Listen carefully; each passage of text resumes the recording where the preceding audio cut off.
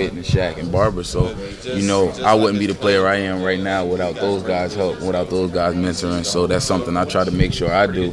So even after I'm going, this place is in good hands. So what do you tell them? What's your advice? Uh, one of the major things I tell them is just play ball. You know, just play ball. At the end of the day, it's football. It's something we've been doing since we were little kids. You know, it took me a year to realize that. You know, you get on the field and you start playing and you realize you're putting on a helmet just like I did. They put a helmet on just like I did. The name doesn't matter. Who you playing against doesn't matter. Go make plays. That's all it's about. Go make plays.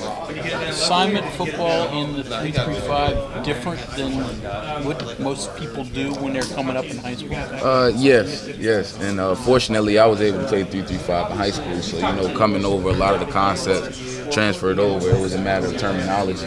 But, uh, you know, it is. And the 335 is one of the most uh, gap sound defenses. You know, if you get out of gaps, that's how guys end up making big plays. So, that's one of the biggest things, uh, making that transition into a 3-3-5 that guys have to realize. You know, you got to be in position.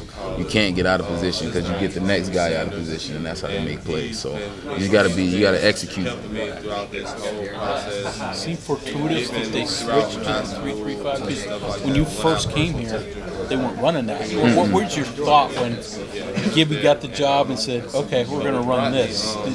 that it was fate.